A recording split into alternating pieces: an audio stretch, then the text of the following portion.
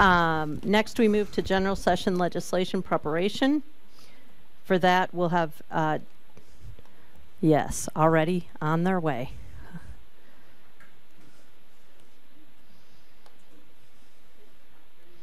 Good afternoon. Angie Stallings, Deputy Superintendent of Policy, and Greg Cannell is here with us as well. Uh, we're going to just share with you five uh, proposed requests for statutory change that um, staff have identified. Um, a couple of these were on the agenda in June, but we didn't get to them, so that's why we have a little longer list this month than normal.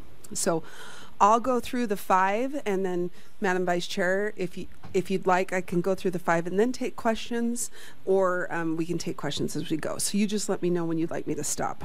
Um, the first request for statutory change would be to amend 53E to 304. And if you look in um, subsection 2B3C, which is quite a, a long subsection, there's been confusion by LEAs by the language in there that makes it look like there are two plans that are required. Um, and it, it mentions an individual learning plan and a plan for college and career readiness when really the individual learning plan is a subset or is encompassed in the plan for college and career readiness. So staff are just asking for that individual learning plan portion to be eliminated in order to reduce confusion. So that's the first one. The second one is a, a request or recommendation to amend section 53F4 203 um, and this is related to recent changes. I guess it's been a little over a year ago that the legislature changed the early interactive reading software program. Instead of it being managed by the state, um, the funding now goes out to LEAs, individual LEAs. And because of that, there are a lot more providers annually there's an evaluation that is required by an outside provider, uh, an external evaluator because there are so many new providers, there um, has been a request for additional funds. So you're going to be, you might be saying, well, don't we need to talk about this in the funding request? Actually, the code allows the board currently to use up to 4% to pay for the external evaluator and uh, other administrative costs. And what we're recommending is that 4% me move to 6%. So all it would do is give the board some authority to use additional funds from that existing appropriation to um, contract with the external evaluator to do the evaluation of the efficacy of those providers. So that's what number two is. Number three would be to amend uh, section 53G7 to 18. Um, this is the section of code related to the early literacy plan. Because the legislature eliminated the what used what used to be called K through 3 reading program or early literacy program, there's no longer funding or dedicated restricted funding for early learning related to literacy. And so the staff are recommending that there be changes to 218 to um, be in line with the changes that the legislature made by eliminating the early learning uh, appropriation, including um, having more of a focus on math, uh, removing the requirement that a local board or charter school governing board approve the plan because no longer are they tied to uh, funding, so it will reduce reporting burdens, et cetera. So that's what number three is. Number four is a, a recommendation to amend 53G10403. This is the section of code that lists the topics um, regarding sex education instruction where parental consent is required. There has been some um, confusion about the list there, and the idea would be to just review the list, update it, and um, ensure that, for example, I'll give just an example that um, there's a there's a listing for HIV/AIDS, but that's a subset of sex sexually transmitted diseases. So there's this I, there's this uh, intent and request from the field for more clarity on some of those terms in order to ensure that educators are clear when they need parental consent. So that would be number four, and you can look in the backup documents for more examples. And then the last one is to amend section 53F2 504. And When you look at this section in the code, there are two versions of 504. There's a version that is in effect until July 1, 2025, and it is currently called the Teacher Salary Supplement Program, TSSP. Beginning 25 26, that program is being renamed the SHINE program or the Salary Supplement for Highly Needed Educators. When the legislature renamed and rebranded the TSSP to SHINE, they inadvertently uh, forgot to include USDB. So currently, USDB educators qualify for the TSSP, but when they re um, wrote this program, um, they just stated school districts and charter schools, where the old just said educators in general. And so uh, the staff recommend that we update 53F to 504. And again, there's no impact this year. USDB educators will continue to be eligible for the stipend for this 24 25 school year. It's just proactively making sure that they will also be eligible for the rebranded program beginning 25 26 so that's what number five would be is to ensure that usdb um, can be included and we did check uh, with the legislature and it was not their intent to exclude usdb it was just a kind of a instead of using lea they changed to district and charter and anyway it, it changed a bit and that's it Chair Moss. Quick question on three. Um, how much is going out? How much is going to that evaluator? And um, are they balking at the cost currently? Uh, two, sorry. So that is a good question. Well, money we allocate to the evaluator pay, correct? There's an external evaluator that's been doing this for a while. It's gone back and forth, but I'm just curious if they're sort of telling us we don't. And who's our current evaluator?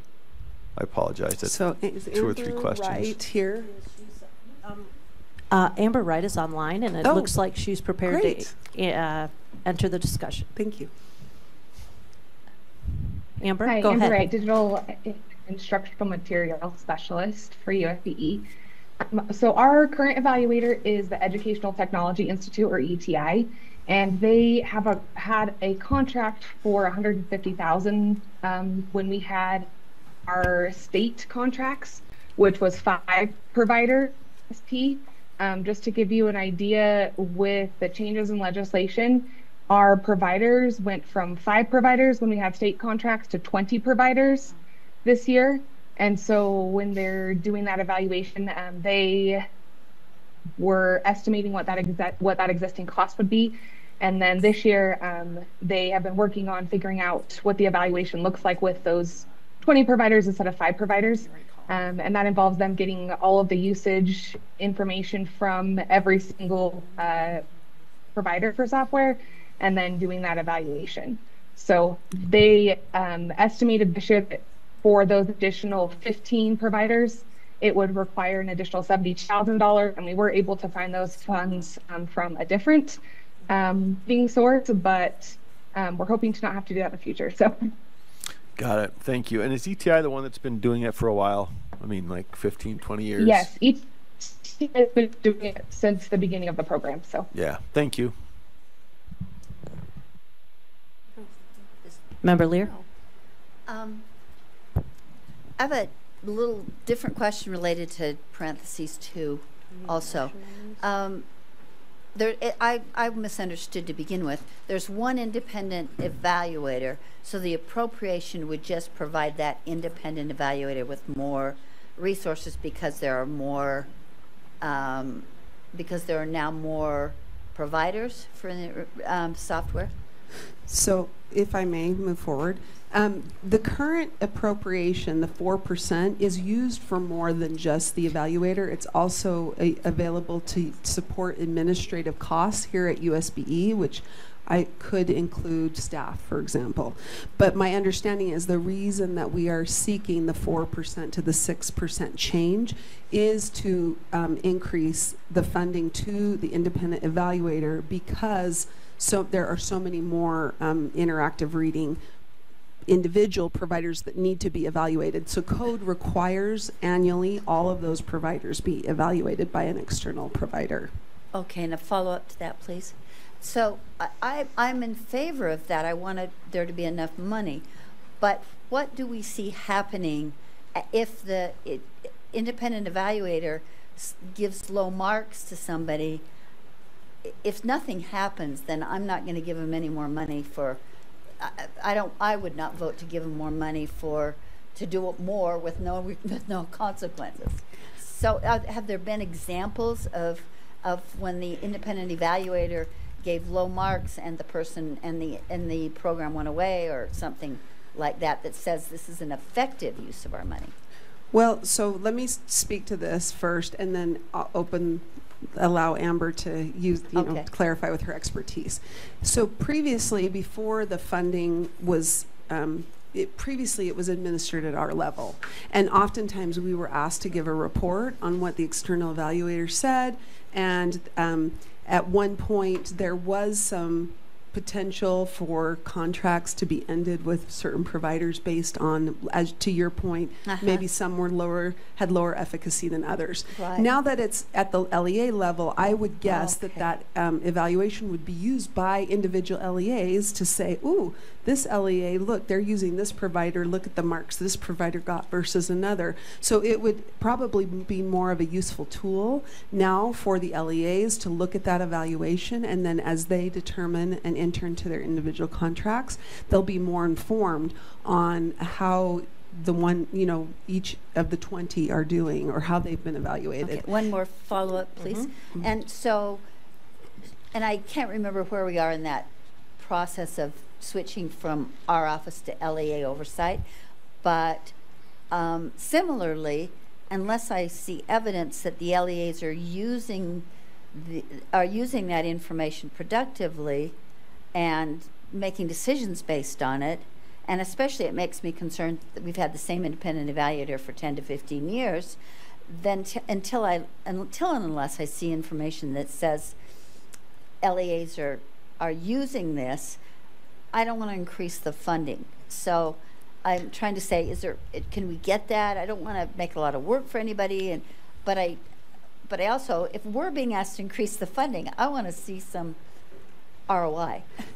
If I may, favorite phrase. what what I think I'm hearing from you is maybe you are entertaining or interested in entertaining a motion to repeal the external evaluation. Like you, does that make sense? Because I think what you're saying Yeah. is you're not sure the external evaluation is. Well, no, I good just tool. don't know either way. That's my concern. Yeah. is It could be, I think every program that we have should be monitored and evaluated, period. And so I don't have a problem with this, but I do have a problem with it if they're asking for more money, it's in statute, but LEAs are not using it to make uh, informed decisions. Yeah. I, I and I don't know if somebody could speak to this, but I, I guess the issue right now is we're required to hire an external evaluator. Their their workload has gone from evaluating five providers to 20 providers. So um, our staff have identified and think their staff have determined that they think it's a value add to recommend that the external evaluator receive additional compensation to, to fulfill that legal requirement. But I think what I'm hearing from you is potentially wanting feedback from LEAs on if they're using that or not. Yes, exactly. But and then I would think that the policy recommendation change might be to just eliminate the evaluation. But I can, I don't know, all I can tell you is that the staff identified this approach mm-hmm. based on the increase from five providers to 20. Would it be hard to get feedback? That might be a better question for Amber. Could I ask Amber, somebody? Amber? Yeah. Uh, I think if you followed that rather convoluted conversation, how hard would it get, would it be to, to receive feedback from LEAs about how they've used the independent um, evaluator feedback? So right now that evaluation is posted on the USBE website, and we also um, I send it out to LEAs to let them know when we have that evaluation done. Um, the evaluation takes student usage data and compares it with the um, the state literacy scores to, and that's kind of how that evaluation is done. So I know that we do have LEAs that are looking at it. Um, I would have to think about how we could track that. Like I said, a lot of them are looking at it because it's on the USBE website. And I know that a lot of LEAs have reached out to me and asked for that report if they haven't been able to find it on the website. But I do think it's something that LEAs are looking at and know that that report is this. Um, but we could figure out a way to track it. It's that's not being necessarily tracked right now. I just know that they're asking about it and using that report. So. Which is sort of helpful, so thank you.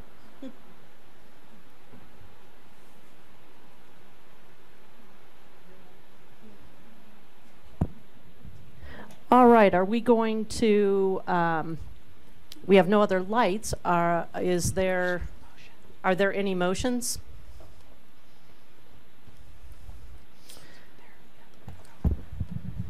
Well, I, you I'll- don't I have can- to, but you are, I see no other lights. except yeah, for that is s- correct. It, All right, that is I- not a I light. spoke to number two and got my questions answered, so I'd be happy to move that one. I guess the language would be uh, that the board directs staff to work with legislature, wait. Well, I guess we could entertain a motion for all five and see if folks want to separate. I will do that. I move that the board direct staff to work with legislator, legislators on potential amendments to the Utah Code as proposed, numbers one through five. I'm sorry, Chair. What did you, I didn't hear a word you said. I just changed your salary. Oh, did you? Okay, from zero to minus zero. I'll be by to collect later. Okay, which ones did you I, move I forward? moved all five. I moved that we Oh, approve oh, no. proposing all five to the legislature. Okay. Uh, you We'll see have, if that- there's a second. Okay. Uh, I got a lot to say about that, but I will defer to, uh, Member Lear. I, I, yeah, move to divide, please. But will you please hit your button again? Um, it seems to be on. Okay, thank you. I move that we divide that motion, at least uh, taking number two out of the mix. Okay, the motion's been made to remove, uh, to divide out number two. Do we have a second on that? Second from Member Strate. Um, would you like to speak to your motion? I, I- as I said in a conversation probably most of you checked out of, I don't want to increase this amount till I know if, if it's being, if the independent evaluator is being uh, taken seriously by LEAs. And Okay. I also don't want to make a lot of work for LEAs, but they're asking us to increase the, am- the amount. So I can't in good conscience do that until I know that the information is being used effectively. Okay. Member Boggess? Thank you, ma'am. Just for clarity, these come back for final approval, yes? Uh, will you speak to that member, or uh, Deputy Stallings? Yes. So what, when you make this motion, there's those five proposed policy requests. The next step would be for staff, um, one of two things. Um, like last year, we might present the full list to the Education Interim Committee, and then the Education Interim Committee might, you know, uh, decide to do a draft committee bill with four out of six of the policy requests. That's one approach. And if that were the case and the draft bill were to come out, we would bring it to your attention. Another more often more common approach is that we work with individual legislators, ask them to open bill files, and then they draft a bill. They will generally send us the draft bill, and of course, once the bill, sometimes we can get the draft bill to you to look at before it's numbered. Other times it won't be until it's numbered, but we could bring it to your attention if there were things you didn't like about the proposed amendments. The board could make a motion and request amendments, et cetera. I don't, if that's helpful. So the next step is to work with legislators on bill files. Okay, then Can you put the list of five back up, please? Uh, I have, unless you're, if, it's- if it's for me, I don't need it. Oh, you don't, I Um, do. But I would move to amend Member Lear's motion. And, um. Go for it. And cordon off number four as well. Okay, so the, uh, the amendment would be to add number four to, um, Just to uh, to divide out number four as well as number two? Do we have a second on that?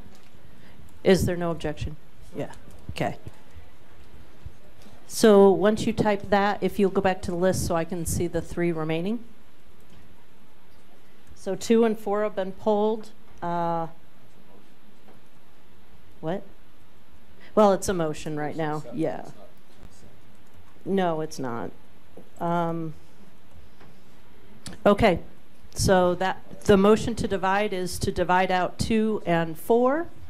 Uh, Did someone else have a, an additional amendment to that? Are you? Oh, okay, go ahead. it, once we vote for this, will that end the agenda item? Like if I have something else I want us to consider, do I? Right.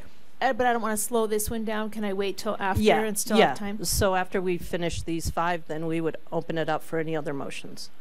So we've got two and four out. Um, you ready for a vote on that? Okay. Wait, you don't want to vote on two and four?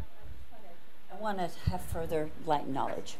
You want to, you want further what? I want further information. Oh, okay, go ahead, go ahead.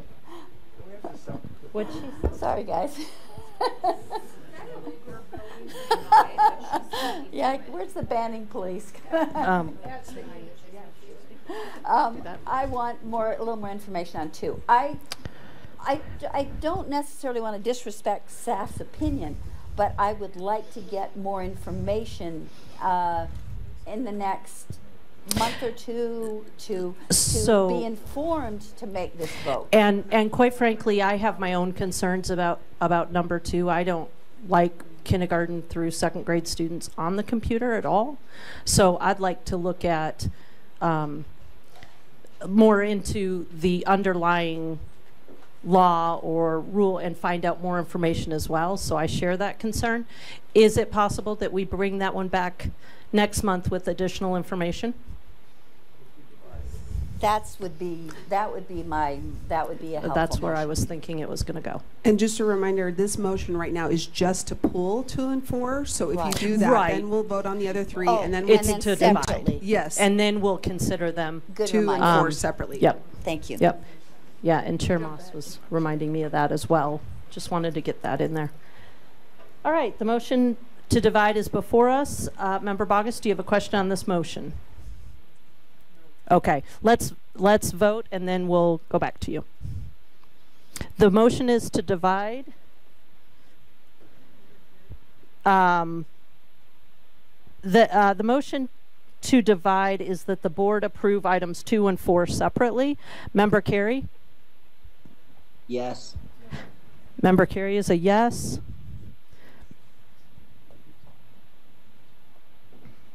We need two more. Please check your screens. One more. Uh, there we go. That motion passes unanimously. Uh, now we go to the underlying motion, which is the board directs staff to work with legislators on potential amendments to the Utah Code as proposed, with the exception of items two and four. Would you like to speak to that motion? Okay, we've got a, uh, that's in order. I would move that we direct staff to bring back more information on two and four. Okay, so this, so you, we're voting on the other three, and then we'll address two and four. Oh, so it had the other one high, I'm sorry, I Yeah, apologize. no, we could, I mean theoretically, we could do it either way, I was just looking at the highlighted portion. Gotcha. I apologize. no worries. Um, so, do you have that ready? All right, please vote. Member Kerry, the, are, are you prepared to vote, or you want me to restate it? Uh, no, I'm a yes. Okay. He's a yes. Two more, please. Check your screens. One more. And that passes unanimously. Uh, Yes, that passes unanimously. Now, we will address the remaining items or not. Uh, Go ahead and, and now, um, there is not a motion on two, so it would be just making a motion. Oh, just, then I would move that the board direct staff to bring back more detailed information on two and four. To Okay, allow is- the board to make a decision at that time. Is there a second for that? Second from Member Lear. Uh, uh, any speaking to that? Would you like to speak to your motion? I think people it's- would like information. If I- people would like information, otherwise, I'm happy to just move this and let it come back. I think we're good. Did you have a comment? I want to make sure that staff understands at least what my concerns were about Yeah. too. Is Yeah. that, was I, was I sufficiently? Okay, informative. Thank you very much. Can I speak? And I don't, thank you. Can you ask? What are you? I, Go ahead. yeah, I, I want details on specifically what our staff are rec- recommending for four, specifically. Yes. So- What she said. I Very guess my good. Mic is on. I concur with Vice Chair Earl. Very good. Are you ready to? Okay. The vote is, is up.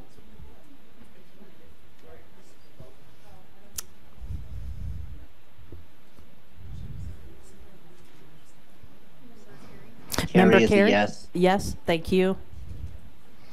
And my mic is still on, not that I care, but. We're just giving them extra.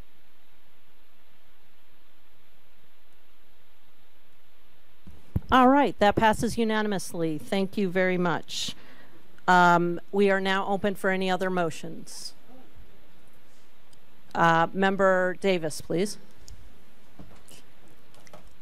I have a question, Chair, Mm-hmm. and it may lead to a motion. I would just like to know um, if we have had feedback. When I was at the Charter Symposium on Saturday, I had some folks express real worry about the financial repercussions of, of the safety bill that passed this last legislative session.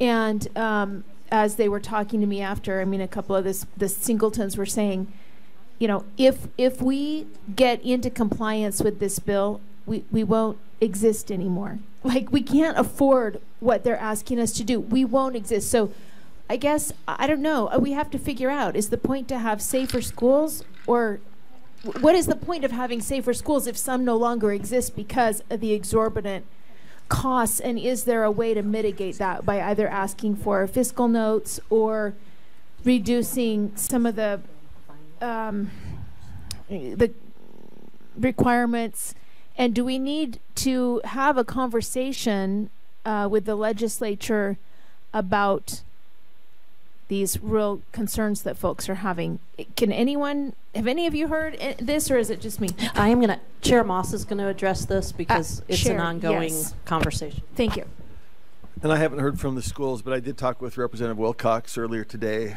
And my question for him was, what are you hearing? What is your plan? Do you have something in the works? What are you proposing that we consider? Um, he's hearing the same thing. He's also heard it from districts. There was a um, shortfall in the amount of funding, obviously, to cover it. Now it's expanded to everybody. They're looking for further data on which schools have turned in their grant applications. Apparently, some have started to trickle in. Rhett would know this. They put the date for the final application apparently at the end of the year. They're hoping to accelerate that so that we can find out what the needs are. But at this point, um, they're looking long term to include this as something pegged to the WPU, is my understanding, is what the legislature is considering. So my question to him was, we're about to start talking about this. Where are you guys? That's where they are. They're looking for more data, and then they're looking for a long-term fix. And they're planning to have some discussions. I think Member Kerry's been appointed to a task force. Uh, any of us could be involved. Towards the end of August, my understanding is they'll have more information from some of the discussions they're having, both nationally with other folks and also locally in terms of grant applications. And they will have information that we might use to consider our position on additional funding in September. That's what I'm hearing. I see Patty nodding her head. Nothing there sounds inconsistent with what you're hearing. And so I- I think there's digging going on. There's process underway, but we're still a little bit in the dark as to what's coming at the grassroots level and what the legislature is going to consider a priority. I think there is a general sense among the folks on the Hill that they want to build this in as some kind of baseline. Peg WP. So I'd like to add to that as Matt's on there. as Sorry. an Oh, you're the one on the task force? Oh, I thought Joe was on, it, on the safety task force. There's two of them, and there's, remember, right. there's different. I forgot. Sorry. Yeah. So we've got member Hymas and member Kerry involved in those discussions. The other thing is, as an LEA, Gotcha, sorry. the next deadline is that we all have to have our um, self-assessments done by December 31st. So before that, it's really hard to tell um, where the baseline is for the needs. And so, in my view, the biggest the next step may be simply to adjust dates so that people can take a collective breath because you can't have anything we really don't we're stabbing in the dark oh that's bad um, we are making guesses until we find out what each district and school needs. So we're looking for answers before answers are even possibly in you know in the realm. So i think for me yes it's a funding question but i think that's been universally recognized. To me um, some reassurance or some right sizing of timelines would be enough for um, some of us to feel better i think is is just one perspective And do you mean adjust the timelines for the grant applications? and No, submission of no, the no, no. Analysis? Because part of the problem. Because they're hoping to accelerate that to get a better uh, idea of what's Right, but the problem is Right. that you've got LEAs and schools that see a bill that has a deadline that's already passed, and you feel like you're in no man's land because you can't comply with the deadlines of the bill, and you feel like you're at risk. So if the deadlines from the bill changes, I think that would lower the temperature for our LEAs and schools as we try to figure out what rises to the top for priority and costs and the realities. Uh, it's just another perspective. Please.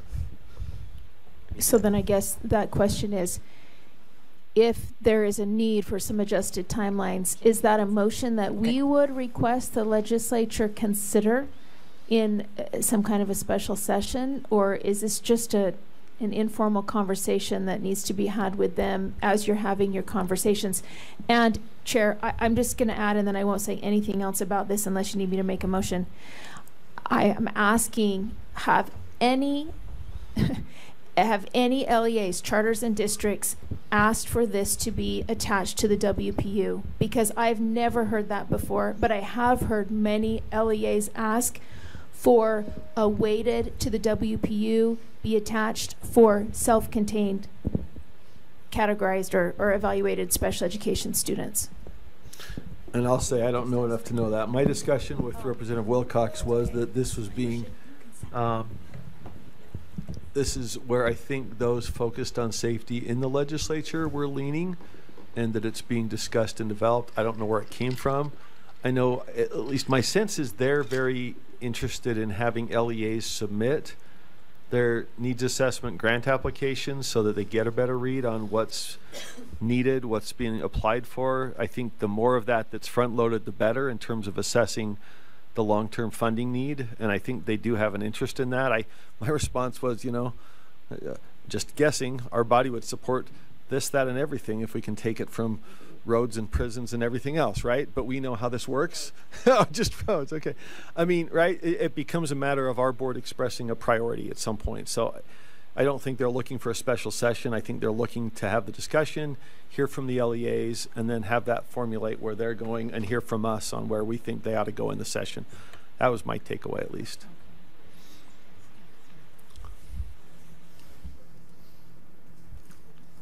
Patty Norman. Am I good? You're Yeah, okay. Um, Patty Norman, Deputy Superintendent of Student Achievement. I just um, wanted to also reiterate what you said in the very beginning, Chair Moss, uh, about uh, the work of the School Safety Task Force. Um, just as a reminder, what those numbers came down to last year was a shortfall of $37 million of Priority One needs, what are considered Priority One needs on a rubric. So that's with about 700 of our schools applying. We do have an additional 300 something schools that never applied, and now they have to do that needs assessment. It is a requirement.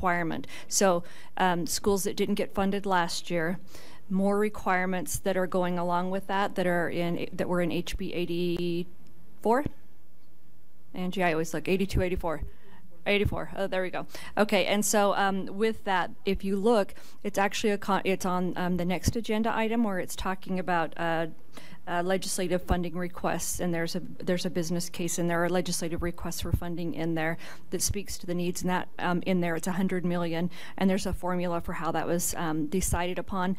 But as Chair Moss was uh, speaking right now, uh, that is that's a beginning point to just with the needs that were mentioned before that hadn't been fulfilled uh, of the 37 million dollars, and then fulfilling that with what could be priority one needs with the new legislation. Okay, so I want to, I just want to take a timeout for just a minute. Um, we have made the decision to cancel dinner, so we are on the clock. Um, uh, remember that we have moved through the five items that staff have brought to us. So where we're at right now is if we want to propose and vote on any items that you want uh, staff to work up um, for legislative or for statutory changes. That's what we're doing right now is statutory changes. So let's stick with statutory changes, um, get through those, and we will talk about legislate draft legislative funding requests in just one moment. Does anyone have, or would you, are you prepared, or would you like to make any motions? Anybody for statutory changes? Joe, uh, Member Kerry, I know you've got your hand up. Uh, I did, Deputy Norman addressed the same issues I Oh, was going to raise. great. So Okay. Um, Member Boggess. So I cannot find my notes on this, but I would move that we direct staff to work with a legislature, legislator to amend the code related to testing and that an alternate district test cannot be mandated when a parent opts out of statewide testing. Do we have a second? second, Uh, second, I'm going to give it to Member Kerry. And would you speak to your motion, please? Yeah, so this is just an ongoing concern that's brought to me. And the concern is that they opt out of the statewide test and their kid is thrust into a district assessment that is mandated and it's presented as required. Um, because they opted out of the RISE testing, they have to take this other test. And I think we need to just be very clear and explicit that if you opt out of statewide testing, LEAs may not in any way, shape, or form require alternate testing in lieu of the RISE assessment. Okay, does, um, any questions I- from other board members or comments? Member Lear. And I'm just trying to understand the motion, Member August. Can I ask her a question? Oh, please, uh, she, Um, she's, she may or Um, may not I- answer. What if, what if their alternative, what if the district's, the LEA's alternative is to say, you can opt out of that, but you're, you will be then required to write a paper as directed by your English teacher or some, so is. that, so that students could go without any evaluation at all? Oh, sorry. Right, I get opt out of state testing. I get that, like the mm-hmm. RISE test. Mm-hmm. So then, a- an LEA's option to someone opting out of the RISE test is to say, well, your English teacher will then provide you with a couple of assignments for us to evaluate your progress. That would not be allowed. So, as I understand it, they already cannot do that. That's that. not allowed already. They so this student would go would be completely unevaluated. Um, No. no, Uh, the, may- May I? Okay. go ahead. So this, there is a process for evaluation. We're talking about um, computerized, uh, computer adaptive, the assessments that parents do not want their children to take. We're not get talking about a standard assessment applied to all students. But I, I, and I get that. I'm not, that's not my question. My question is about spell, I mean, to make it really simplistic, the teacher could give the student, say it's a, a third grader and part of the RISE test was spelling. The teacher could give the student a different spelling test. I, I think that that's already done in schools. But we don't know. Well, your well, I don't know of any educator that does not provide a, an end of unit spelling assessment for students. and that's what I'm saying. This doesn't reach to what educators would require for their own assessments for students. It, You, you can't use it in. you can't use it in lieu. That, That's That- already in code. that Well, and- changed. You cannot, Yeah, to evaluate the student. I'm not No, talking, the in lieu thing is what's throwing me. I, I'm not meaning, I'm just saying there has to be evaluation methods that teachers can use for students. do we have, uh, So, uh, it, may I, may I Darin query Member Nielsen. Lear? Darin, would you like, uh, uh, So, to- it, may I talk to Yeah, Mem- yeah. Member Lear? The the intent is not to circumvent or prevent a teacher from evaluating their students. It is to prevent the mandating of a secondary assessment when the rise is opted out of. I get that. I totally get that. It, intent either is not what I'm interested in. I don't want teachers. I don't want teachers to be discouraged from evaluating students. Um, that, that I don't want that, that to be the net result of this kind of a. Um, yeah, I don't think that would be the net result. I, I, I don't. And I and, and I think that intent is sometimes different than what are, that teachers are saying when I'm saying. So you mean I can't evaluate the student, or the district can't evaluate the student, or the hold, hold on. I, w- I have a question for, Mhm. um, uh, Darin?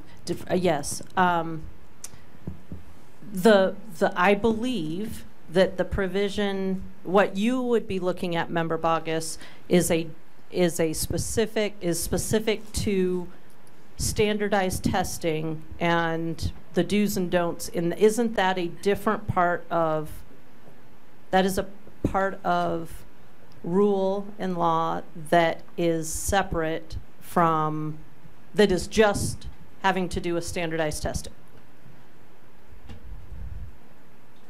Yeah, Darin Nielsen, Assistant Superintendent of Student Learning.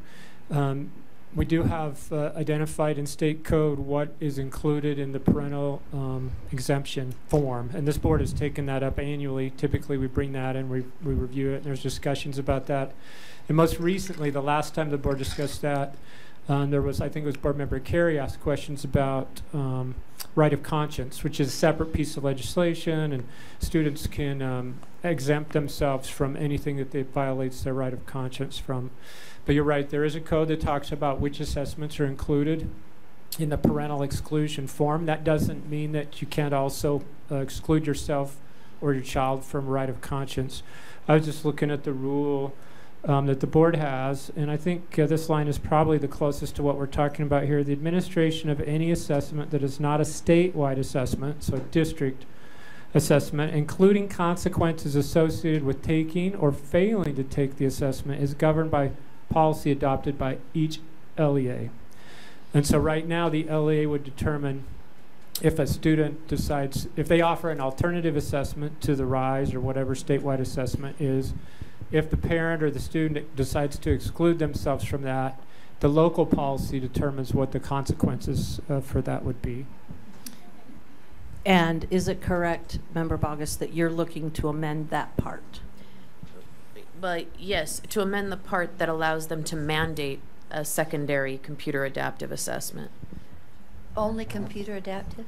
Well, any assessment that a, a parent would f- take issue with, Oh. in particular, the the data mining assessments that take place, um, and I, I just hope happen to cross over to a district that I get a lot of complaints about that.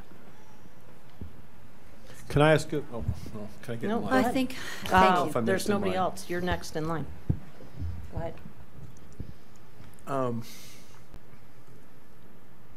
I should have had my question formulated better. Um, what are the other types of assessments? I think Member Lear raised a couple. This just goes to clarifying the nature of the amendment. Um, i- if the alternative assessment is a writing, something or other, right, or an assessment that's not computer adaptive, you're just looking to say you cannot use a district um, version of computer adaptive testing because presumably that's the reason for the opt-out. I don't know that the opt-out opportunity is limited to computer adaptive testing, though, is it? Can I clarify that? So, so, so maybe that's the question: is what what are the current bases for opting out of the state assessment?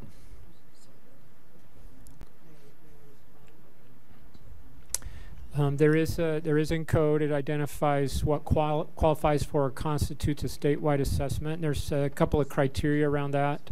Um, one is paid for by the state, delivered on a state system, and I think there's another element that I can't think of off the top of my mind right now. And that's what governs this board when you create the parental exclusion opt-out form. Um, that's what governs what assessments get included on that.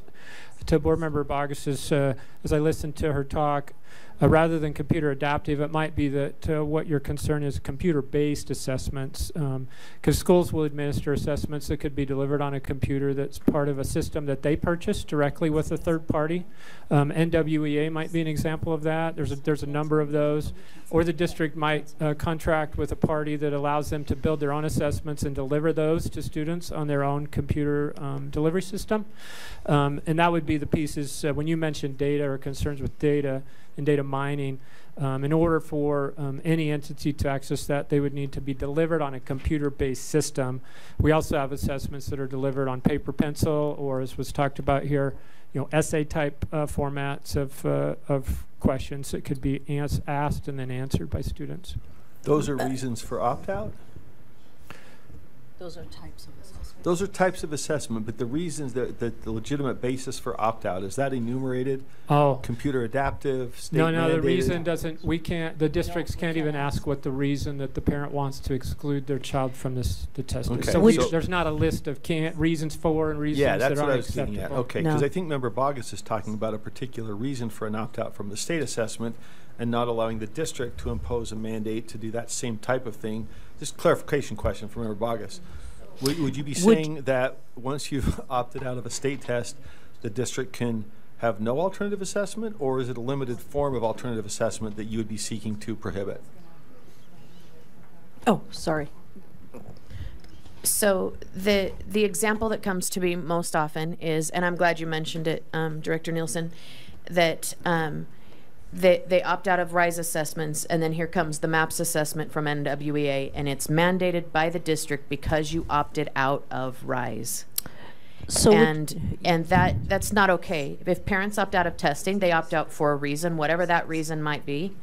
But we can't have a required assessment in lieu of an opted out of required assessment. would and you it be- seems to oh, be an oh. ongoing issue Sorry. that people don't seem to get that opt out means I said no and I really meant no and I get I kind of get tired of having to walk parents through this and I, I don't mean that in a in a disrespectful way but our districts should learn that no means no and if we have to go to code to get them to understand that then we need to go to code to get them to understand that Would you be open to working with staff and working something up and bringing it to the next board meeting? I am happy to do that as long as you're not going to tell me I'm too late Oh, no, we've got a number of things coming in September. Uh, That is, there is no, just to confirm, there's no deadline that would be before the end, really the end of the year. For statutory. I understand there's a Um, difference. I was just going to state, you're right, statutory changes, we've asked for bills during the session before that Mm-hmm. have come up. So yes, we have all the way until sine die, the last day of session, to ask for requests. One thing I will keep, uh, just did want to give as a heads up, last year, the Education Interim Committee graciously did um, give us the opportunity to make a presentation in October for a potential committee bill.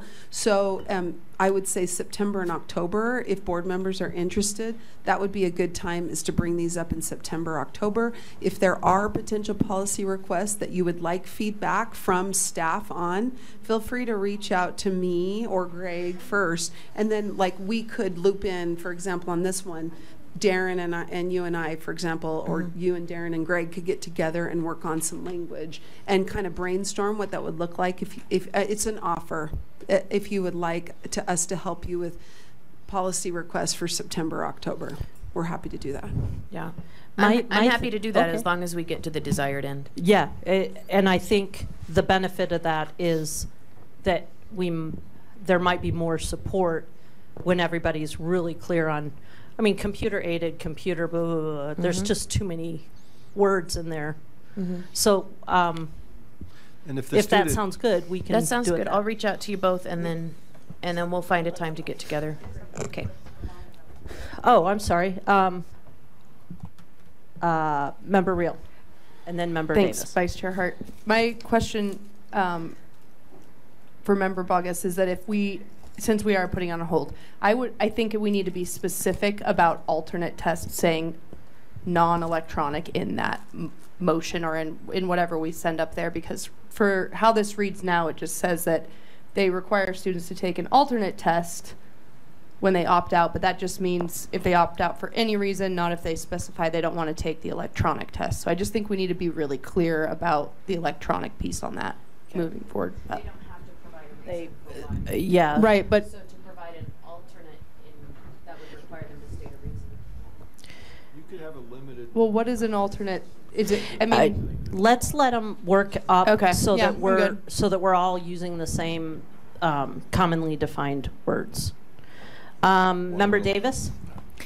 Yeah, in the, you know, month, I mean, can we figure out uh, where this is happening and to what extent? I mean, I just texted an- assessment director in, in my area, but to find out, um, or a curriculum director rather, you know, if that's required, if, you know, because someone gets out of the, opts out of the RISE testing. So I'd really like to know what are the common practices when somebody opts out of a RISE test and do they do they have to take a different one because they opted out and what is the data used for is it looking at that kind of longitudinal trends or, or what the situation is All right, I, we're going to pen that one till, not uh, officially, we don't need a motion, but uh, we look forward to that conversation next month.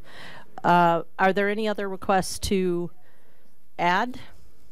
And let me remind you that we did cancel dinner, so every minute um, is a minute farther away from your next mealtime. And we will move to 12.2, draft legislation funding request for the 2025 general session. And everybody's leaving.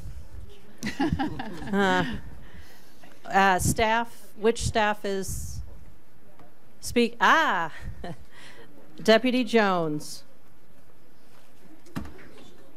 Deputy Jones. Oh, you do have a partner at least. Okay. I'm in line. I'm in line for Oh, you're in line. Okay.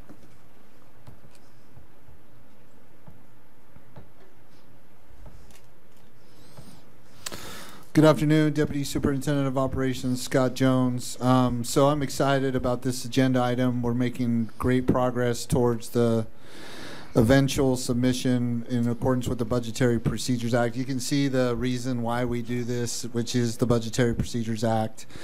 Um, in addition to making requests to the legislature for uh, new funding. Um, with that, um, I'll turn it over to Chief of Staff Young for um, her update on where we're at in the process. Uh, again, great progress has been made, uh, so she can share that with you, and we can take it from there at your direction, Madam Chair. So. I'm sorry. I'll be Madam Chair. Go. Go ahead, Chief of Staff. Go ahead, please. Thank you. So, Chief of Staff Sarah Young, at the direction of the board, staff have prepared multiple uh, legislative funding request files that you'll see in backup for this item. As a friendly reminder, um, there are two mechanisms by which these could have come forward one through recommendations of the Finance Committee that then came before the full board, and with the support of three board members in our last full board meeting in June. So, our purpose here today is to present you with those draft files to receive feedback. Um, do the requests meet your intent as board members and or are there things that we can refine and improve upon before we then bring these back in September to be able to request uh, your feedback on whether these items will be board supported ahead of then a prioritization effort in the month of September and October to finalize the board request that will then go to the governor's office. I appreciate that as multiple steps. We have included um, a, a timeline of kind of how that uh, shakes out in the backup as well. Um, but the file I would draw your attention to is the one that starts with the name Tracker. So Tracker General Session 2025 is going to have the full list of what was requested and what has been developed in response to uh, the board member requests. So with that, we as your staff are happy to take feedback. Okay, not everybody hit your button at once.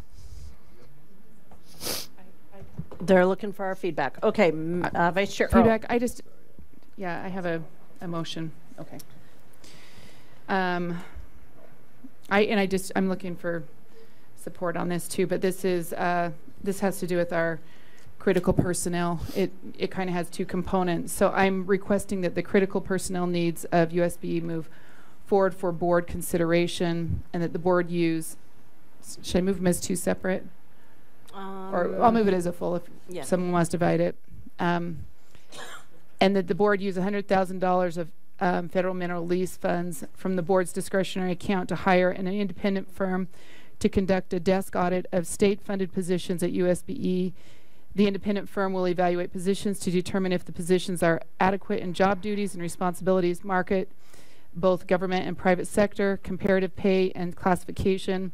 The firm will analyze whether state-funded positions are sufficient in quantity and alignment to ensure the ca- uh, capability to meet state laws and USBE E rules. The SOW RFP slash RFP and selection process include at least two board members. The timeline would be mid-December. So it's two requests there, and I just need a second. The Okay. motion's been made um, And and s- seconded. Yeah, I just want to speak to that. We have, we have um, some requests for critical needs. I'm just asking that those be written up so we can, right, be con- be considered as possibly putting on there. But even more than that, looking at really an evaluative tool that someone to come in and just say, do we have the staff we need? Are we, you know what I mean? Are we fulfilling what we need to be doing? Where's our, our areas of um, um, that we need addressed or not? Maybe we're, you know, anyways. And part of the reason for that is during the, um, I, I, I hear this frequently that I hear USBE is bloated, or I mean, I hear that, that we're overstaffed or we're this or that. And if, if we are, then that answers some of those questions. If we're not, it seems like we, we end up with a lot of um, bills that somehow we, we are just supposed to assume the, the, um, the personnel. So I, I guess I'm asking for an analysis just to say, hey, where's our, where's our key areas? You know, what do the laws say? Are we missing an, a lot of people or are we not? Are we understaffed? So I'm, I'm asking that we, we take a look at our critical needs, but we also have kind of just an independent look at that too. So that's my request. Did someone get that motion? It's in backup. Okay. Um, do we think that we could? There we go. Thank you.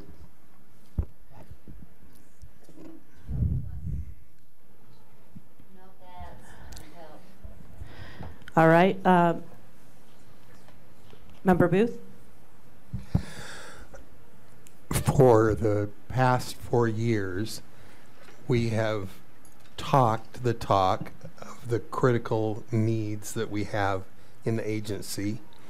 And, um, and we've definitely, uh, I mean, we can talk to any one of our area heads, any of our assistant superintendents, just in our interaction with our staff who are working so hard and who do work so hard as we have requests.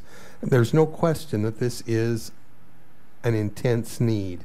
And every year it has been kind of bounced down and eventually um, lost in terms of being able to provide the funding and to make it happen. The agency continues to tighten their belt, pull up their bootstraps, and, and make it happen. Um, I would be very much in favor of supporting their, I mean, they, they have been very specific in, in identifying specific needs that they have and where are the areas where they're running short, no matter how efficient they try to be. Um, and I would love to receive that feedback and come up uh, with a very clear statement that this is a priority and it's a priority that needs to be uh, addressed rather than just letting it drop and kind of sift its way through to the bottom until it drops out of the running. So, thank you.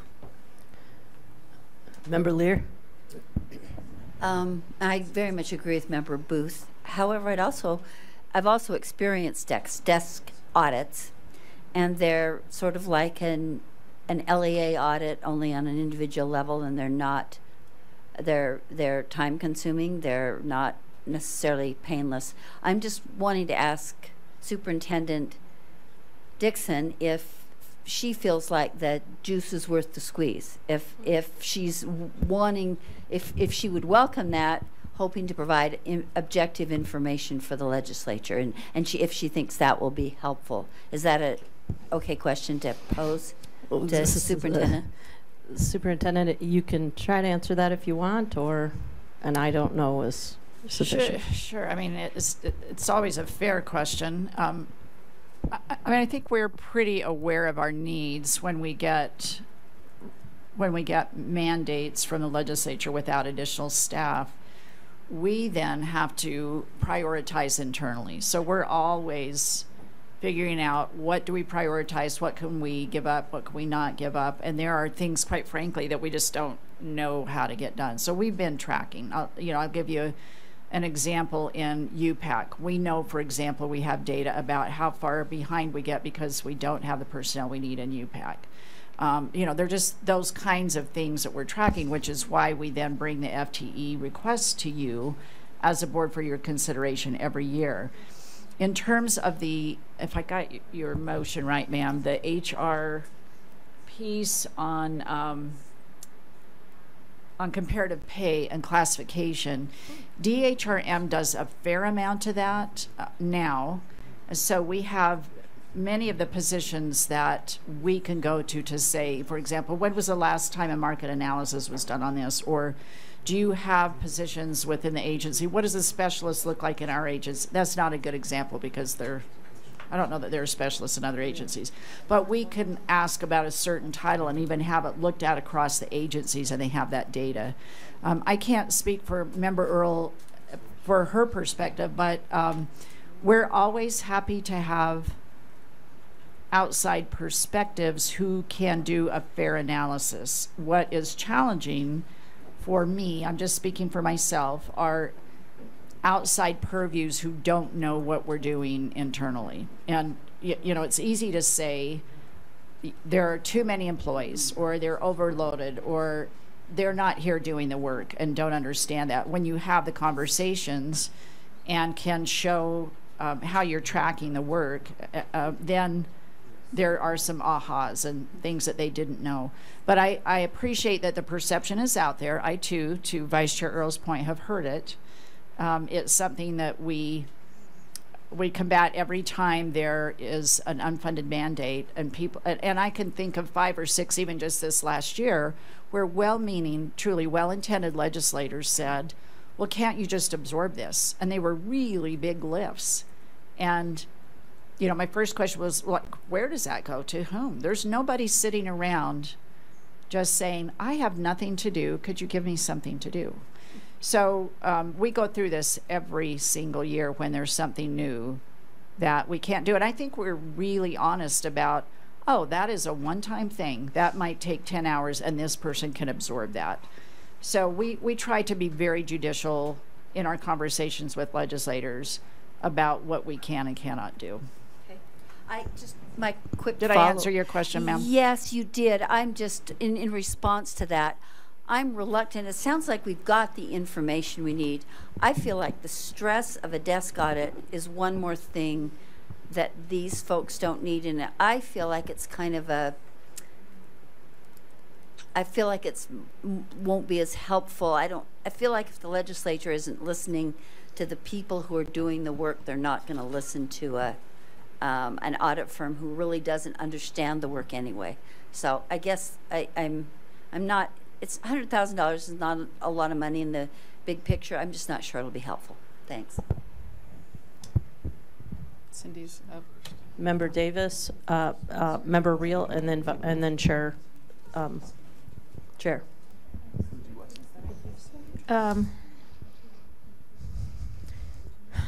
I certainly think, you know, there's merit to having even more when we go to the legislature every year when we get turned down. But at the same time, we're spending a lot of money now on lots of different studies. We're spending money on, you know, to study this thing, and we're spending money to study that thing, and we're spending money to study another thing. And I, on this particular one, I'm concerned about the double because some of these, uh, I think a lot of our positions, we already have market pay studies done for us by HR. So I- I'm, I have to ask myself this question. Um, I know that there are students in Orem, Utah, not my area, but I'm going to speak up for them, that just lost 75% of their Title I funding. I ran into a teacher on the walking trail um, this past week. Said, How's it going? I didn't even bring it up, and she was near tears talking about losing their Title I funding. So at some point, do we use our money to help help the kids and the things we're trying to help by studying all the things? or do we continue to put money into all of these studies instead of maybe when we see a real need like you know the fiscal cliff our medium-sized charters just hit or our big charters just hit or the fiscal cliff that our rural schools just hit or now this fiscal cliff that that um, these title one schools are suffering at some point i feel like maybe the money's better spent actually doing than continuing to study Okay, Member Reale and then Chair. Yeah. Um. I thank you, Vice Chair Hart. Vice Chair Earl. I. I the intention of this I appreciate. At Sully Community College, we recently went through a similar audit where they examined all of the positions at the institution and they determined if a lot of the different pieces that you have in here, as well as um, the pay and the pay scale. And one thing that we learned from that is that we needed to find $4 million because we had that many faculty and staff who are underpaid at the institution. So I, I do want to warn that this could potentially come with us seeing that a lot of our staff could potentially be under market and we would need to find funds to bring them to market um, in their salaries. So just something to consider as we think about this. And the other question I had was that um, is there a potential for us to once like approve the scope of this audit once we have it or is it just something that like once we approve this then the scope would just go forward or would it be something the audit committee would approve i'm not sure how that process works Would you like to?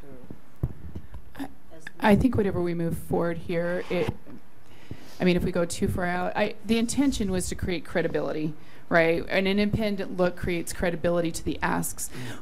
I, I can, I mean, I heard it last year, I've heard it for the last couple of years, but we can, we can just, we can go with what we've got. We, we really haven't got the staff that we've requested. This just creates a, a credibility. It looks at those in depth, but if we want to just continue the way we're going, No. we can do that. So. i think i think you missed the first part of what i was saying is Okay. that we, we did this at slick and we had a short we found that lots of staff were underpaid so we had to find funds to then pay them which could be something that we I could see. use as a request to the I- legislature but i this is what I'm moving forward. So whatever, I mean, if people wanted to modify it, that that's probably the scope of work that would be looked at, okay right? So if it needed to be altered, probably now is the time to do it. Or if we needed to set it out. or could for- we bring it bring back the approve the scope once then or is that I, I don't know. Maybe someone that does contracts can speak or to it that. goes to audit i don't know i just am if there's an like just Yeah, I don't. Yeah. Um, let's run through a few more um, comments and then we'll get some answers to some questions. Uh, Chair.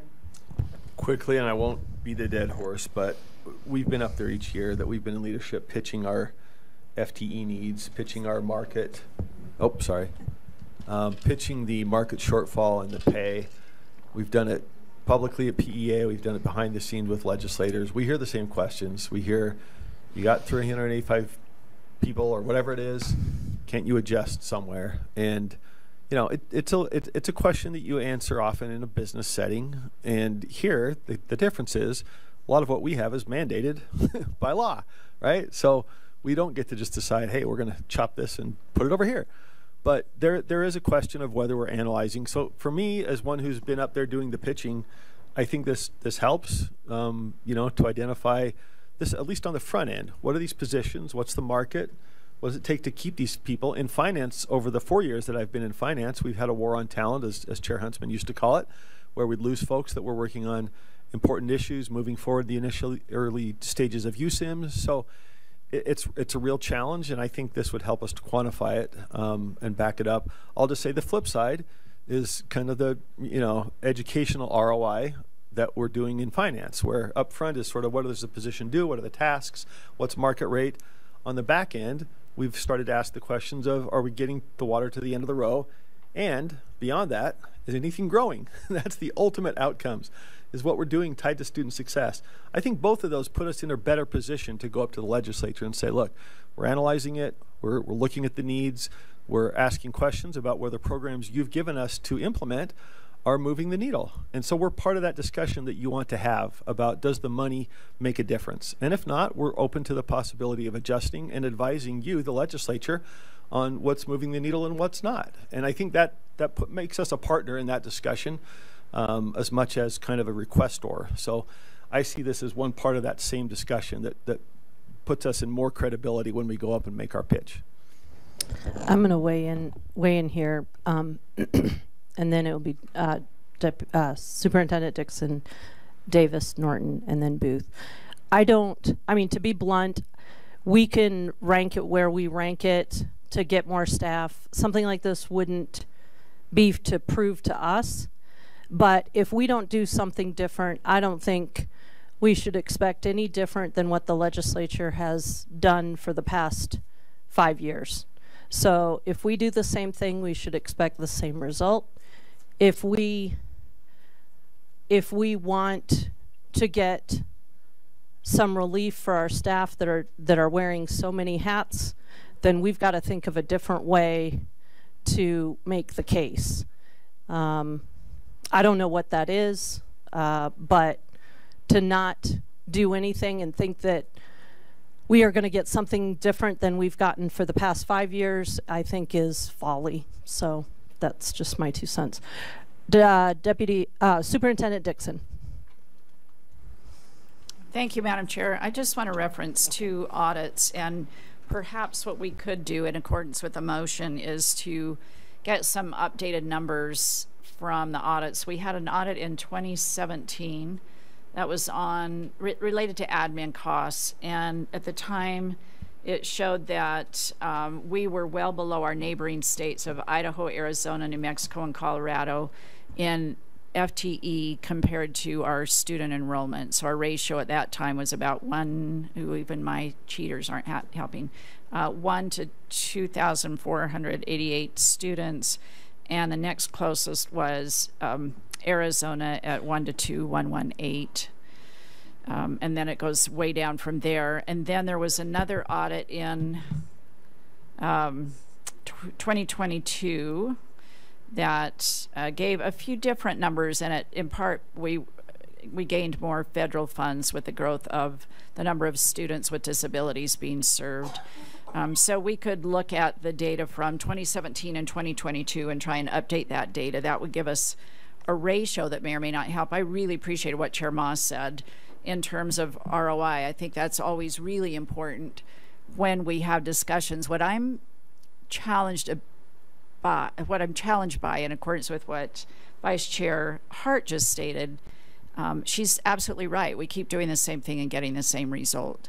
I'm challenged by how to do it differently um, when we're not given an opportunity to talk about not just the funding but policy overall. How are all of these policies, with or without funding, making a difference in outcomes for students? And I feel like a lot of the things that we are asked to spend our time on, when with or without new FTE, don't always get us to the end of the row with return on investment. So I would love to see some kind of mechanism for feedback to the legislature to say, given all of these new bills, here's how it's impacting education or not. I don't know that we have the data and results on that, but I, to me, that is a way to enter into the conversation about um, how we need more FTE or not. So I think we keep going at it from we have more work, we need more FTE, we have unfunded mandates to hear all of the things that you've done to us, with us, for us, and how are all of those things really helping kiddos at the end of the day?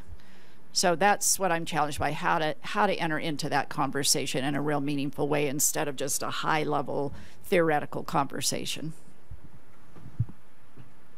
And Chair Hart wasn't even here to hear all of that. We got it.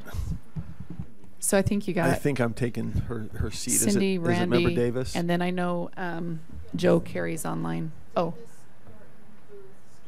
I- I- yeah, Joe Kerry was a, probably in the middle of that. He's- Let's do Davis, Norton, Kerry, Boothe, and Strate. If Okay, that's all right. so- Member Davis? Do you want to hit Davis? Um, yes, I have two questions and then maybe a motion. Uh, my questions are, Chair, uh, how much time will it take for staff to complete an audit of this scope?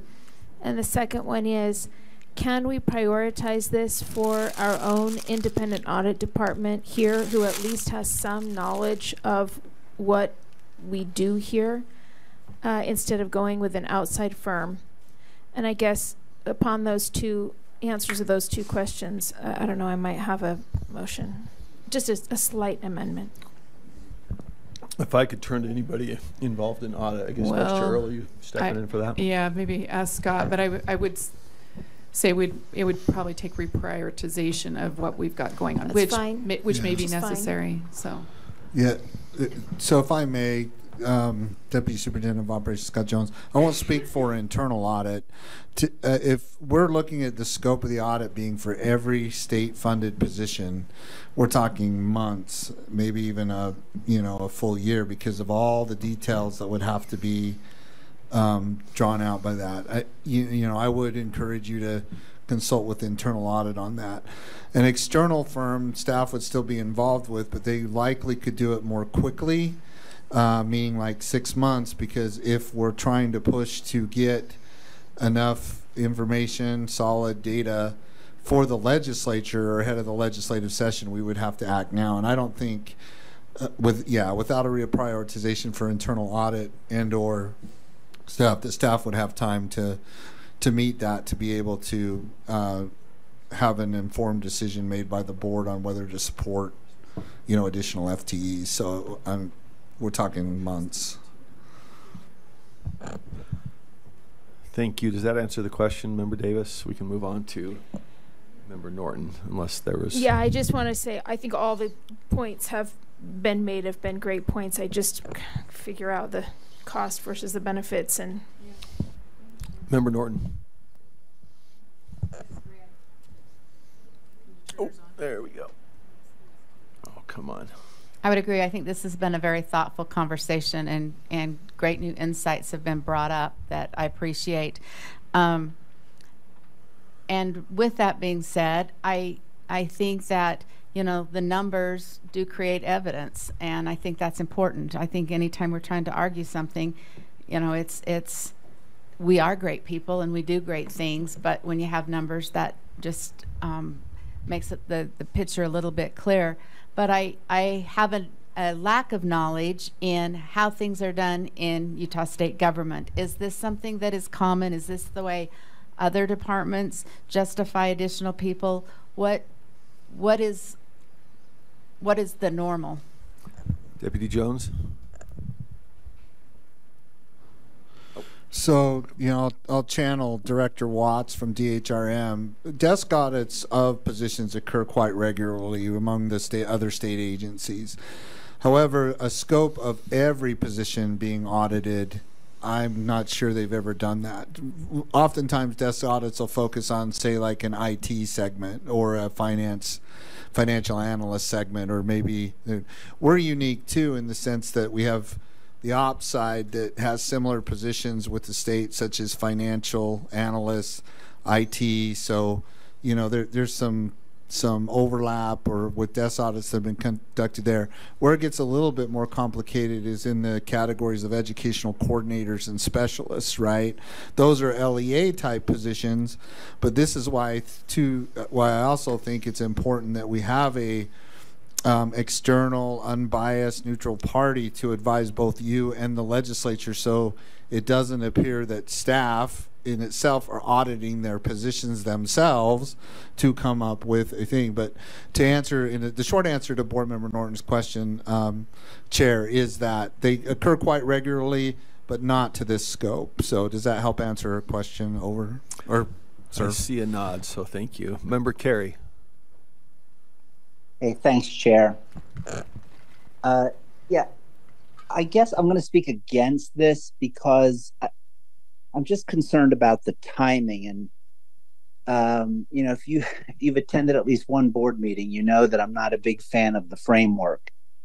But I understand the purpose, which is, hey, we're going to take all these rules. We're going to see how much staff, how much time we spend on each one of these areas.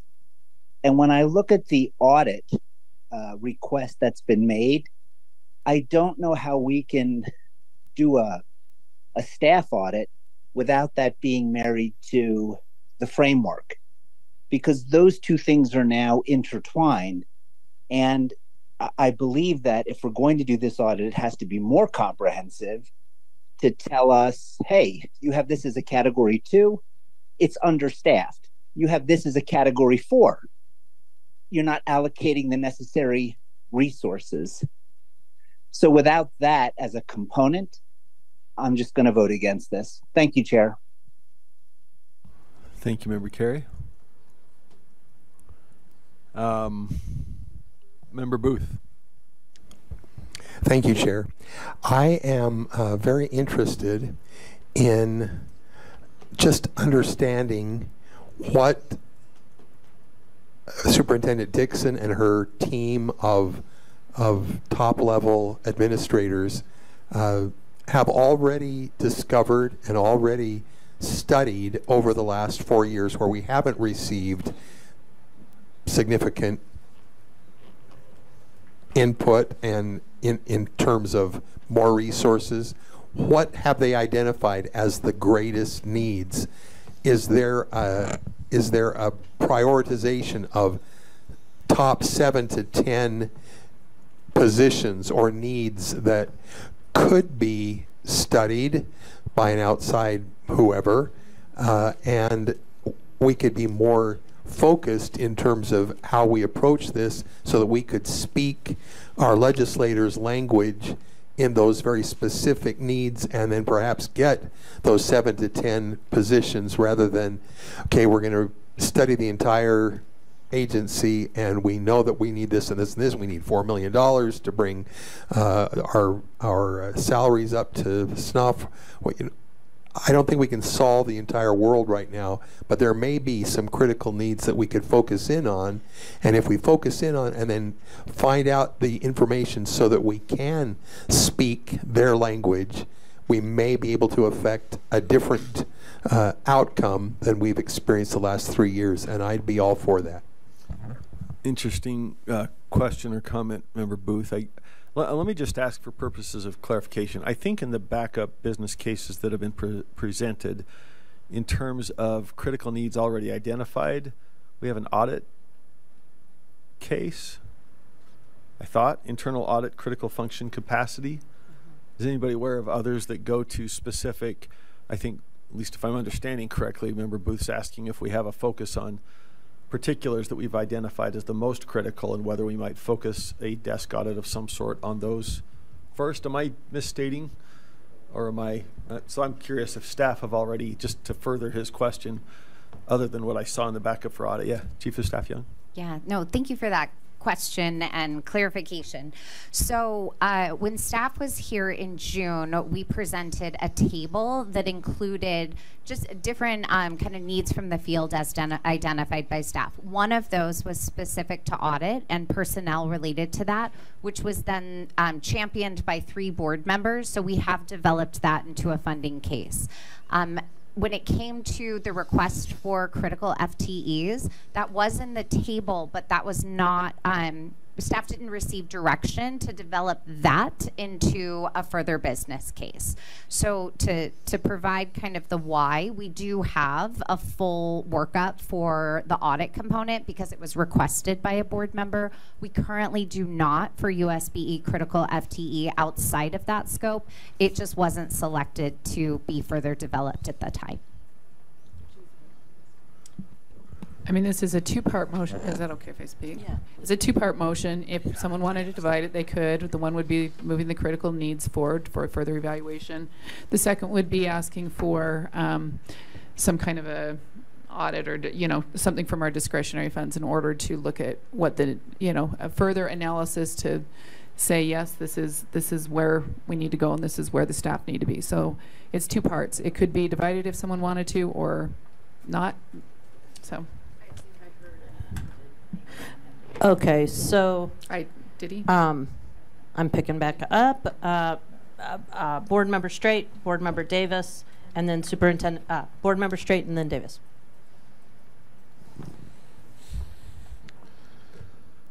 So it appears we have a whole separate way of going about how we meet the needs of USBE and how we meet the needs of education in general. It appears to me that we have some catch up to, we need to close the gap on where we're at now and where we should be.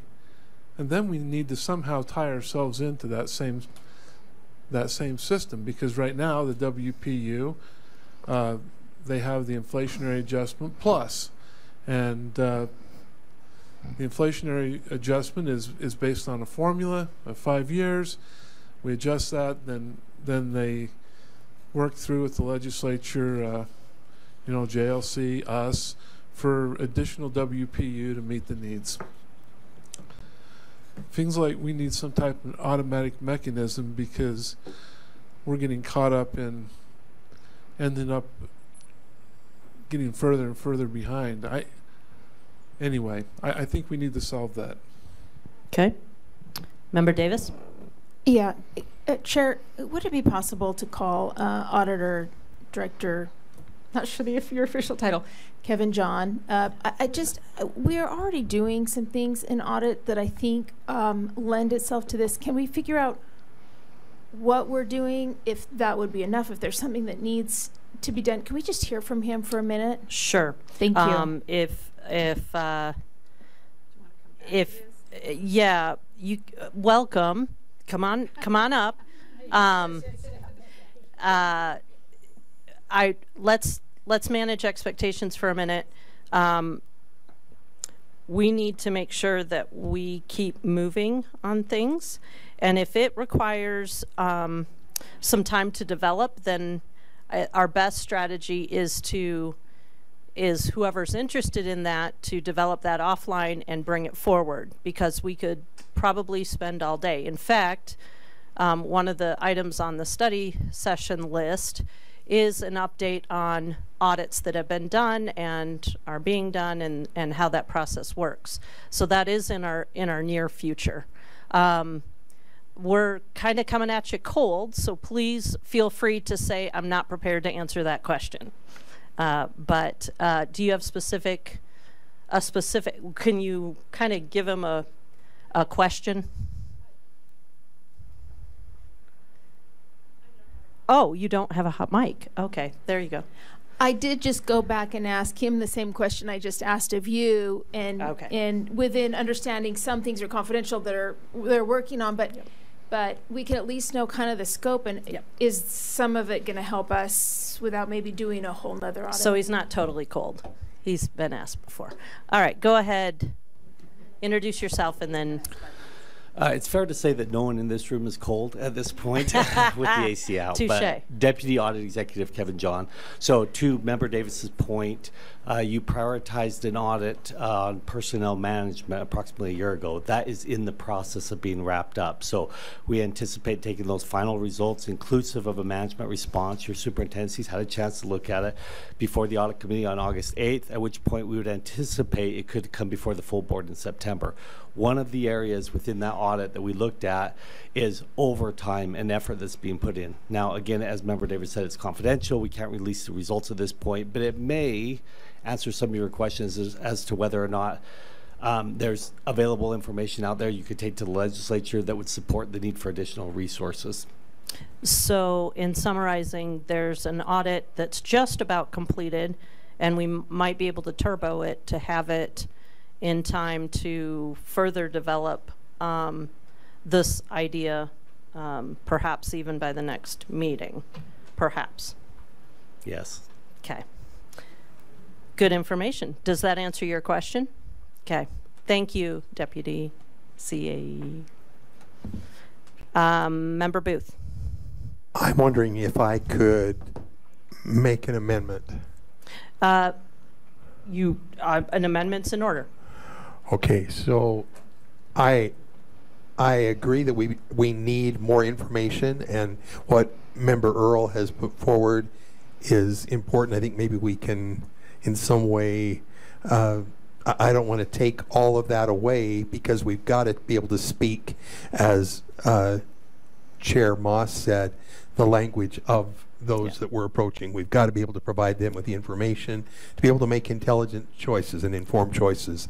But I think a great place to start would be, as I identified earlier, the critical needs that staff has already identified over the past three or four years where we have not had success. And I would love to uh, propose or move that uh, we direct staff to conduct a thorough and quick study of what they have already identified as critical needs over the past three or four years. This is not something that is a new subject. They're dealing with it every day, and they're trying to find ways to to make it happen every day. And so I think it could be a very clear uh, source of information that would help us move this forward in a, a very uh, efficient way, maybe by next meeting. So I would move that uh, they come up with their best guess and best information as to what their critical needs are and what we would what they would prioritize in order to move the work of the agency forward in the most efficient manner. Can I, um, so in clarifying your, your motion, are you looking to have them build out the business case with specific areas? Or are you having, are you interested in, prior to a, uh, um, a request for funding being created, you would like to see an, a perhaps itemized list of what the agency feels like are specific needs? I trust our team at the agency, and if they feel prepared to apply the information that they've already pulled together over the last several years to a business case, I would say go for it. Okay, so would that be a, that would be a, that would be accepting the first part and amending the second part. Would that be accurate? Yeah, and I'm, I'm, I'm open. I'm not trying to, you know, s- s- take I away just, the importance just need a of what clarification Board Member because, Earl. and maybe staff can clarify this. When we ask for something to come before us and we're saying it's critical needs, are they not putting forth that they're going to be looking at the, they're going to be doing this to present to us. They're going to be creating an argument to present to us. I don't see where that's different than the first ask. Okay. D- am I missing something? Um, You're asking him to find the critical needs, look at them, and then find the critical needs. I, I He, what I believe what you're looking for is basically saying the first part is internal instead of external. so you're asking for an external person to come no, and validate internal. the internal. You you asked for um, an independent firm to conduct a desk audit, and what it sounds like is he's asking for staff to do it internally without. Yes, but wouldn't they do that already when we ask for critical needs? They're going to look at critical needs and provide us, staff are providing us with that information. That's what I'm saying. It doesn't change what they would be providing already. So- The difference is someone validating the critical needs. So, what we need to do is, um, uh, uh, Member Boothe has, um, is putting forward an amendment. We need to take that amendment through the process and do our voting. Um, I'm, I'm just um, clarifying the amendment, um, but why does, um, Member Boothe, why don't you um, talk right now to uh, Member Davis, because I think she's got an idea.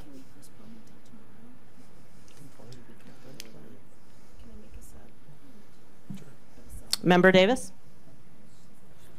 I I have a substitute motion. Okay. Can we postpone this until tomorrow when we're already looking at the prioritized audits and just sleep on everything we've heard today and then decide, you know, in light of also what we're already working on in audits and in light of the data that Superintendent Dickson mentioned, okay. can we kind of narrow down to what we still need to know or understand and, and what, if that could be tagged on as a supplemental audit with our folks if we prioritize it or, or if we need to go with a biggie like this? Uh, I guess I'm speaking to it and I should have done that. I move that we postpone until tomorrow, somewhere right near So- or with the audit conversation agenda item. So tomorrow, tomorrow's conversation in tomorrow's um, study session is data privacy and um, strategic plan. During those, uh, someone mentioned that we were talking about Uh, That's on the, prioritizing. that's on the, uh, that's on the study session list. It has not yet been scheduled. Let's put it, can we prioritize, can we postpone this then until the section where it's for unfinished business? On the Okay. Do- agenda. Did we put from today. unfinished business on tomorrow's agenda? Yes, we did. Okay. So the motion on the floor, I don't know who's driving, is to postpone until unfinished business tomorrow. Uh, Is there a second? I'll second. Second by Member Boothe. Um, As soon as that's ready, we're going to vote on it because I see no other comments. Point of order, when you said sleep on it, are you suggesting we're going to finish in time to go to sleep tonight? Um, Yes, I am. Not Just- only just- is she just checking. I suggesting. thought that's what I heard. Come heck or high water. Um, As soon as that's ready, we will vote.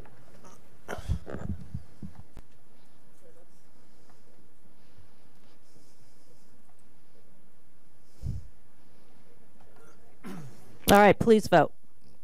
Uh, um, Yes. Okay.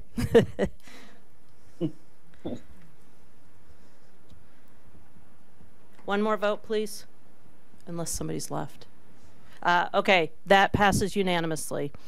All right, are there any others that need to come forth right now? We do need to move on to our next item. Thank you. We will move on to our next item. Member Strate. Yes, if you are the next, if you're bringing something forward, now would be the time. Go ahead. This is for the funding, right? This list? Yes. Okay. So at the very bottom there, we have educator incentives, national board certified teachers. And uh, we do have a second draft. I'm not certain that's completely updated.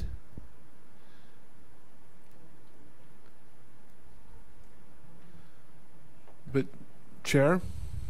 Yes, I'm would- sorry. Would it be appropriate and okay if I, I brought uh, some people forward to Um, do, discuss? if, if anybody has, uh, if board members have questions of, of, um, we, we have current certified, national board certified teachers. First of all, let's recognize them. Will you please stand if you're nationally board certified? Yay!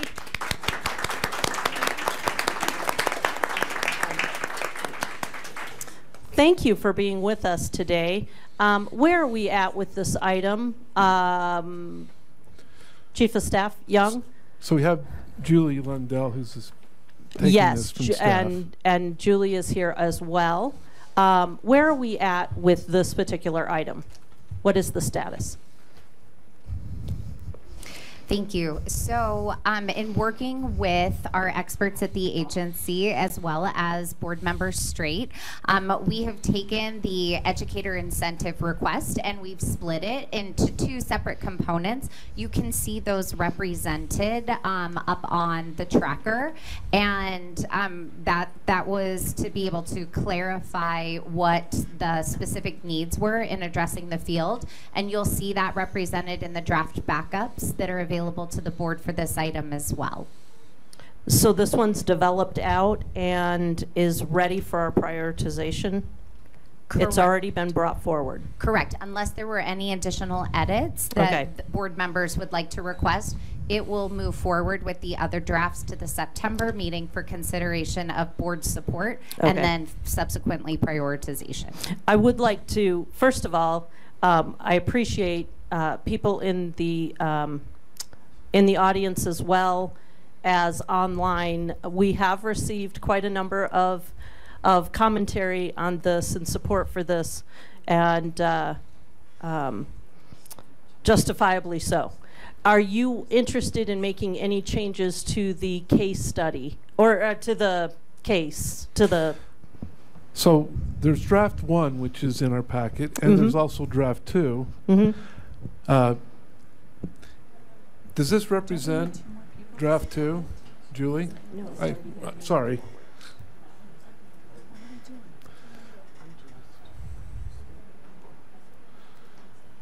So, Chair? Yes. This does represent draft two, the numbers that are there. That is updated. Okay. There were some other additions in, in draft two. If you uh, look at that specifically, uh, there, there have been some changes. Okay. Uh, also, uh, the, ed- the educator supplemental, uh, oh, no, I'm on the wrong line. The educator incentives, learning for student success, that's early grade, that's K through 3 Mhm. Uh, that is, that is gone. And Yeah. so that's looking at bringing that element back to meet the goals of USBE in our strategic plan. So it appears that we do not need to make any changes to what we have before us. Um, At this point, we would wait until we, our next step is prioritization. And that isn't until, remind me, September, October? October. So what we would need is um, any changes that we would need to this brought forward before that time. Other than that, we are good to go with this. Okay. And I was wondering if, if the board, if the members of the board, if they have questions or if they have suggestions uh, regarding this, now would be a perfect time to Yes, to and that, um, this has already been moved. This is already on the list, so we don't need to do that. Yes. So this, this is already on the list, right? I'm sorry if I missed that member Strate. We already had a vote of the board to. I apologize. We had a vote of the board to support it, not just the three necessary to work up the business case, but voted majority support to put it on the list. And now the question is whether it's ranked and et cetera. Yes, but Okay. changes Oh, were wait minute. made. There was a draft two, Hold- changes were made. Go ahead. I'm asking Kelsey, I guess, did you have?